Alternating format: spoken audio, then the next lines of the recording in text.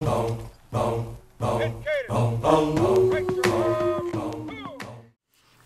back to the Be Dynamic podcast. I'm your host, Darnesha. So glad to have you guys back here for episode 10. I'm so excited about episode 10 because the stats say that most podcasts end at like episode 6, somewhere around there. And I'm just happy that we're well over that threshold and we're just going to keep chugging along, okay? If you haven't already, be sure to subscribe wherever you are listening or watching this, whether it's YouTube, Apple Podcasts, or Spotify.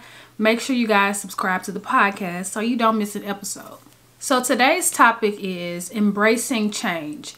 And more specifically, I want to talk about how to navigate life's transitions. How do you go about feeling more comfortable with the change and handling changes that happen throughout your life? So much can change in just a span of like a year, a month. A lot can change. And sometimes it's a little difficult for us to grab a hold to what's happening. Like, is this really happening? How do I really get comfortable in this situation. So I definitely want to give you guys some current changes that I am going through and giving you some real life advice on how to navigate that. So let's get started. If you follow me on social media at all, or if you started watching the podcast on video version before this change happened, you would have noticed that my YouTube channel, it was fashion, it was fashion. It was Fashionesha's Flavor. Um, that was the name of it. But I have recently gone through the change of changing that name to Dynamic Fashion. And it was, I'm not going to say it was difficult for me to do. Okay, yeah, it was difficult me to, for me to do. It was easy for me to decide, but difficult for me to do.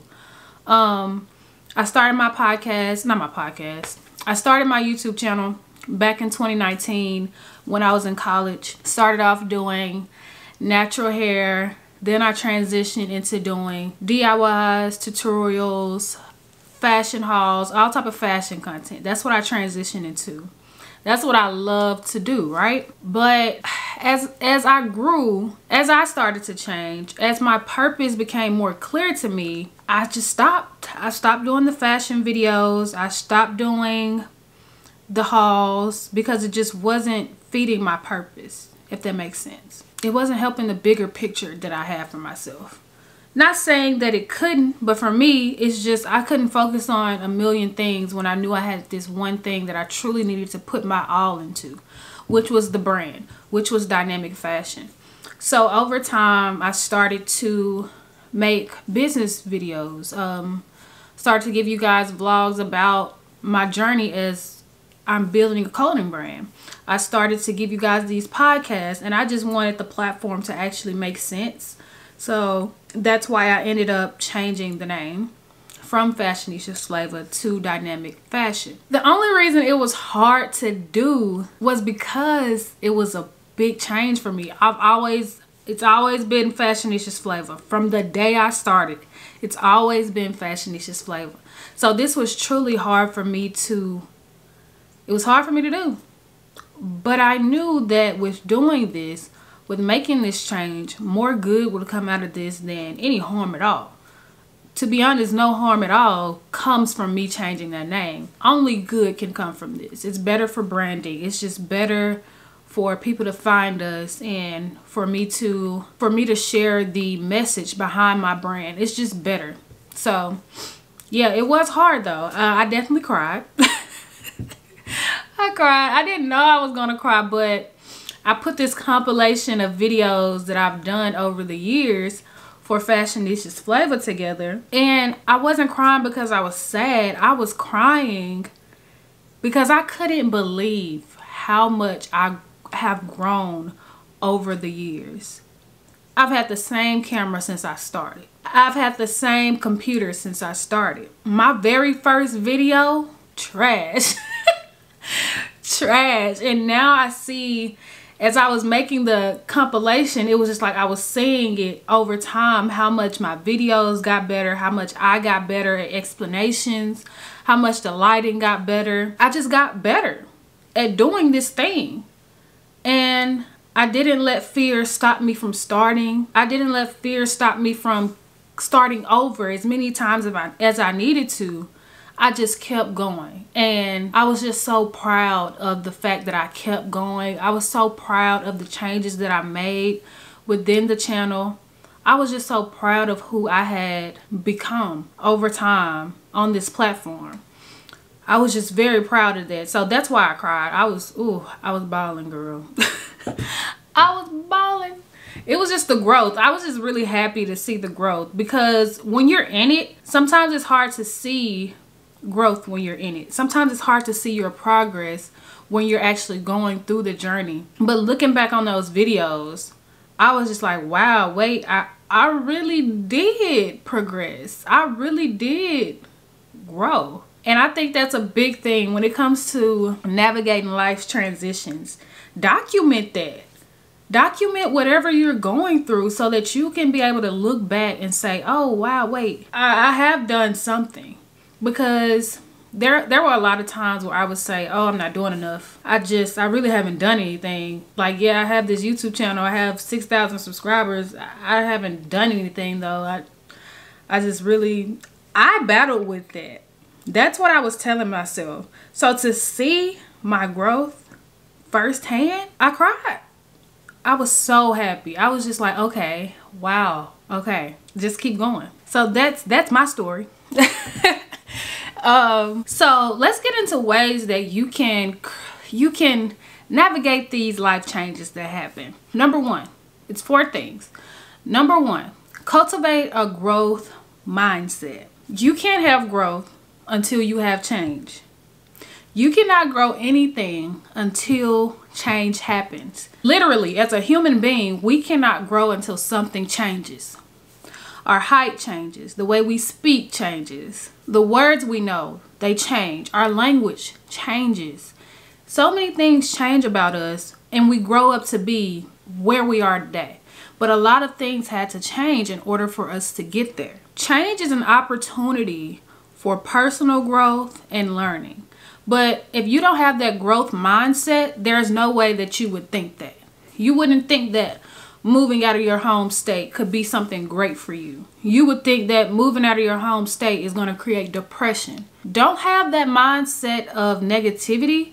You want to have that growth mindset. You want to know that something positive can and will come out of the change that is happening. Be open minded. Have a positive outlook on things instead of being so I don't I don't know this place. I don't know anybody there. There is nothing good that can come out of this because I am not established in this area yet. Be positive. Know that you're going to meet people who can help you along the way. Know that you're going to learn new things along the way that could positively affect your life. That could change the whole game for you. I know as millennials, we sometimes we just get comfortable. We get comfortable where we are and we don't want to do anything different because we're comfortable here. A growth mindset will change that for you. Knowing that if you change these little things about yourself or in your life, that a big thing could come out of that and you do it because of that. I'm proud of us as millennials though. Like I'm proud of the fact that as a generation, we're the generation that tries. We're the generation that just goes for it and whatever happens, happens. That's where change happens and that's where growth happens. It happens in the unknown. If we knew everything, this would kind of be boring. Life's journey would kind of be boring if we knew what was coming next. If you know what's coming next in the movie, that movie is boring. number two, learn from failures. You can have number two when you have number one. If you have a growth mindset, you would look at failures as an opportunity to try in a different way. You would look at failures as an opportunity to learn something new. Learn what not to do next time. Learn how to do it better the next time. Failures aren't always negative, and we talked about that in a past podcast episode. Failures aren't always negative. Fail, go ahead. And one thing I hear all the time is fail fast. Like get it over with so that you can learn all you need to learn in order to be better. Learn all you need to learn in order for you to grow. And with failure, you automatically have to change if you want to do better. If you fail at, I don't know, let's say you were trying to learn a new TikTok dance. let's say you were trying to learn a new TikTok dance or something and you felt you're failing at this. Stop looking at that as such a negative thing and look at it as a stepping stone. Uh, okay, I did step one, two, three right, but step four, oh, I sucked at step four. I cannot get step four. Look at step four. Hone in on what can you do to make step four better so that you can ultimately get to step five. But if you just stick to step four and say, oh, I suck at step four, so I'm just going to leave step one, two, and three behind and not even worry about getting to step five, six, and seven, you will never, you won't make it in anything because of your mindset. Your mindset is so negative that you can't even get to the growth that's possible. Look at failures as learning lessons. Look at failures as opportunities. Opportunities to learn something new, opportunities to do something better. It's not always a bad thing to fail. Now, I'm not saying just go out there and fail willy nilly at a whole bunch of different things, but if you have something that you're focused on, doing and you're focused on achieving, it's okay to fail. Fail and learn. Fail forward. Navigating life transitions. You want to make sure that you stay true to yourself, especially in our generation, our day and age. There's so much peer pressure to do things a certain way. There's so much peer pressure to be something else. But you want to make sure you're not making changes for others.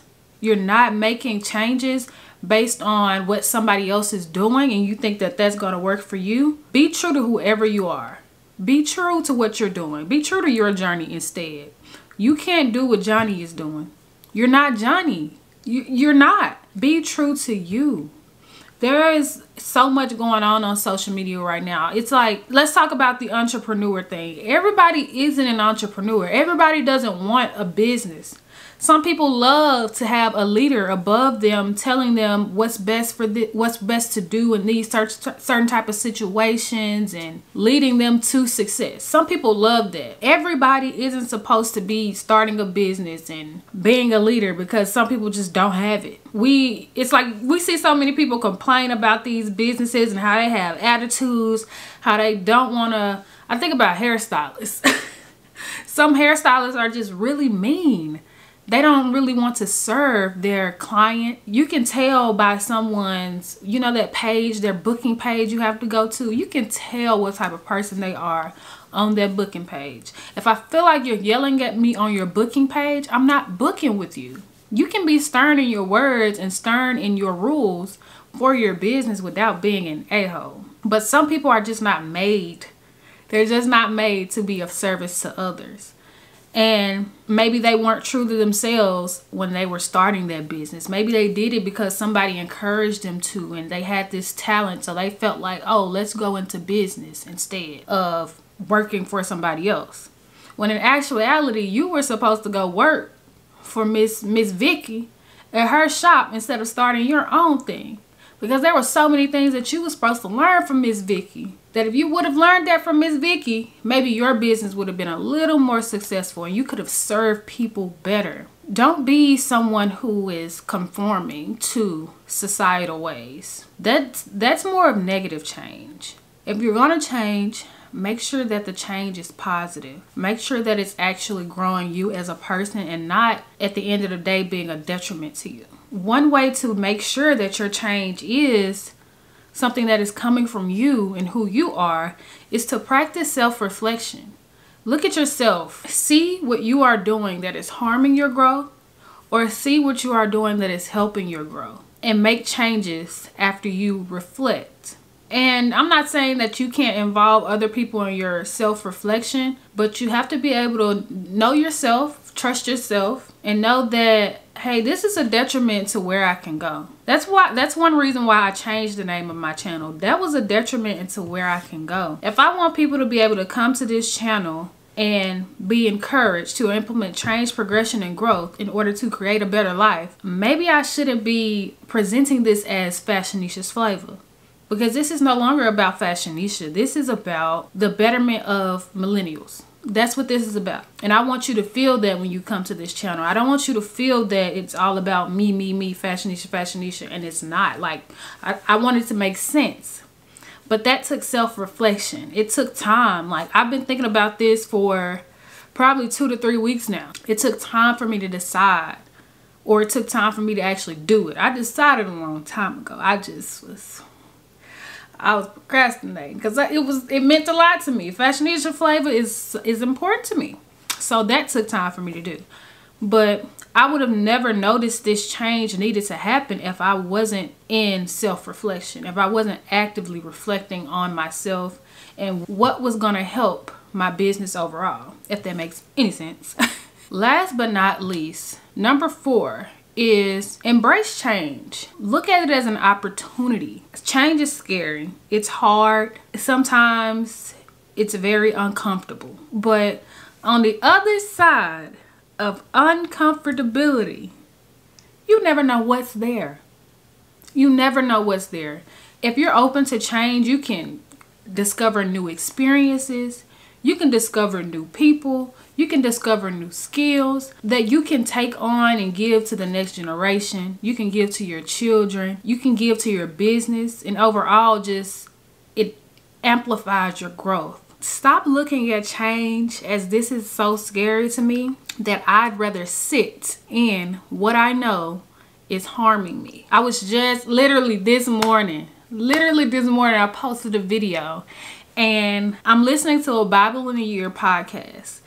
And the podcast was talking about the story how God freed the slaves from Egypt and ultimately 10 guys were instructed to go look at this land that God had for them to see if they could take it from whoever had the land. And they went to go look at the land. They saw that the people were super strong. They saw that they were well endowed.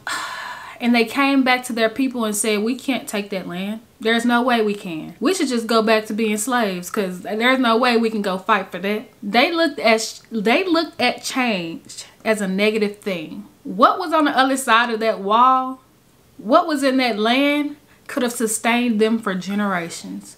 Could sustain the generations after them to do amazing things. But they looked at that challenge.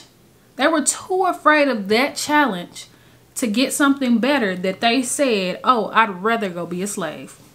They didn't look at it as an opportunity for better. They didn't look at it as an opportunity for growth.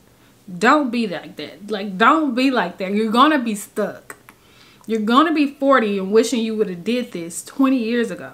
Do whatever it is your heart is desiring to do change whatever it is your heart is desiring to change so that you can have a better life. And those who are who come after you can have a better life. Trust me when i say that nothing truly worth having will come out of your comfort zone. Nothing truly worth having. It might look good. It might feel good. It might be familiar to you but there's better out there. I want you guys to remember that the journey of change navigating life's transitions it's all a personal journey. It's different for each and every one of us. We can look at people for inspiration, see how they do it, how they're handling it. But at the end of the day, you have to know that your journey is unique. Nobody's journey is going to be like yours. Give yourself grace on this journey. Maybe you won't do it right the first, second, or third time. Give yourself some grace. But don't give yourself too much grace that you don't move be open to be open to learning and be open to growing along the way. It's not going to be a comfortable journey. If you really want change if you really want better in life it's not going to be comfortable. I'm telling you that right now. You might cry and it might not be a happy cry it might be a very, very discomforting cry. But on the other side of that comfort zone, you just don't know what you could accomplish, what you could receive, what's waiting for you. You just don't know. So that's it. That's all I got in this episode 10 of Embracing Change. I want you to do just that. I want you to embrace it. I want you to lose that fear. And I want you to fail fast. Get it over with. And get to that growth side of this whole journey. That's what I want for you. I hope that you guys enjoyed this episode of the Be Dynamic podcast. Be sure to like, comment, subscribe on YouTube. Subscribe to wherever you're listening to this podcast. Um, thank you guys so much for the support. Make sure you join the conversation down in the comments below. Um, if you're on YouTube, let me know what you think. Let me know if you've had a, a trying journey of change that, that you have encountered. I want to hear about it. I want to talk about it. And I want to give you some encouraging words if I can. But that's it, guys. Make sure that you guys continue to change, progress, grow, and be dynamic. I'll see you guys in the next one. Bye. I hope you learn to make it on your own. And if you love yourself, just know you'll never be alone. I hope that you get everything you want and that